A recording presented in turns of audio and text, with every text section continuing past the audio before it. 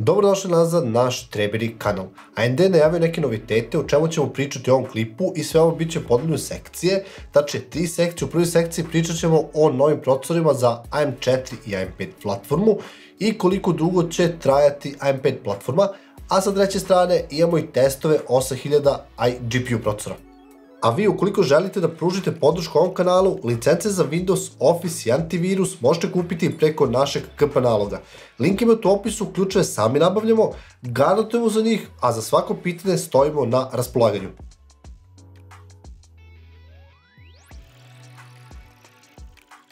Hajde da krenemo od dugovečnosti trenutno najnovije AM5 platforme.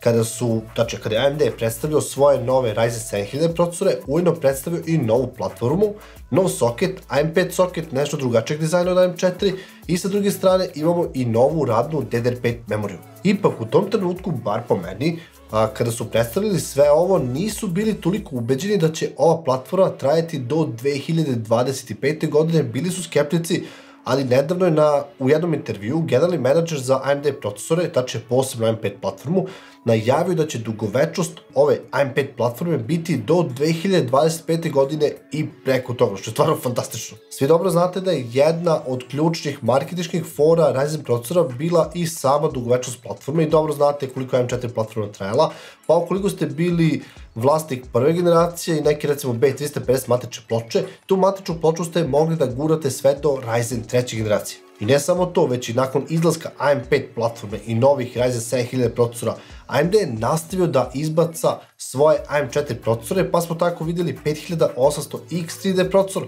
a sada već početkom januara vidjet ćemo i 5700X 3D. Sve ovo znači da će AMD kada bude izašla i AM6 platforma i dalje imati podršku za AM5 procesore i da ćemo i u 2026. godini videti procesore za AM5 platformu. A iskreno da vam kažem, ne bi me čudilo da vidimo i same AM4 procesore, što je po meni fantastična stvar.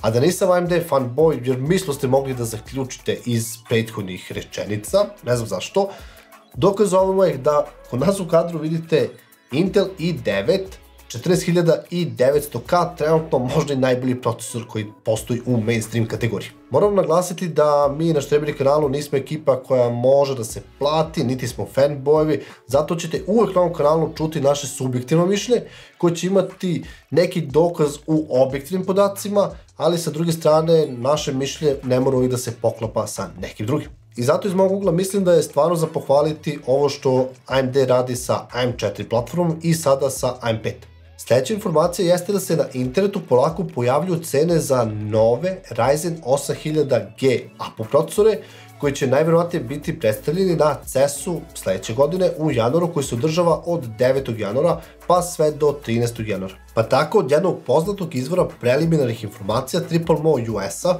možemo vidjeti da će 8700G imati cenu do oko 350 pa sve do 400 dolara, 8600G od 240 do 280 dolara, zatim 8500G negde oko 200 dolara, dok će novi 5700X3D AM4 procesor imati cenu oko 300 dolara. Detaljnu listu možete vidjeti upravo preko ekrana, point je da će 8700G imati cenu pri lansiranju gotovo istu kao 5700G, Sve ove cene su po meni jako dobre, posebno ako uzmete u obzir inflaciju koju imamo prethodnih godina. I za kraj imamo prvi benchmark test na dolazećeg 8700G procesora. Na Geekbenchu možete vidjeti da se radi o procesoru sa 8 jezgra i 16 threadova koji sa sobom ima ugrađeni 780M grafički čip. Sa druge strane, na grafikonima možemo vidjeti da najnoviji i najjači APU procesor ima performanse jako slične performansama Ryzen 9 7940 HS koji je zapravo u laptop i notebook segmentu. A tu minimalnu razliku mislim da možemo prepisati performansama hlađenja gde će sigurno APU procesor imati daleko bolje hlađenje nego laptop procesor. CPU snaga je gotovo identična kao 5700G, naravno za nijansu jači, ali sa druge strane glavnu revoluciju vidimo u samom grafičkom čipu, zato što ovoga puta umesto 8 Vega 3 jedinice koje posleduje 5700G procesor, imamo 12 RDNA 3 grafičke jedinice.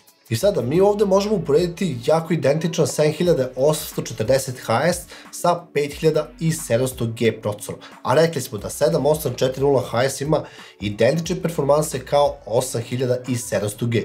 I ako bacimo pogled, jasno će 8700G imati skoro duplo veće performanse u gamingu, a cena će gotovo biti identična pri izlasku. Ali naravno, 5700G trenutno ima daleko nisku cenu, AM4 je procesor i sama platforma je mnogo jeftinija nego AM5.